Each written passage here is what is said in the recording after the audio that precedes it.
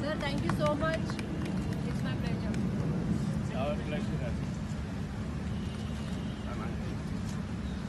ಎಲ್ಲ fresh piece ಎಲ್ಲ fresh piece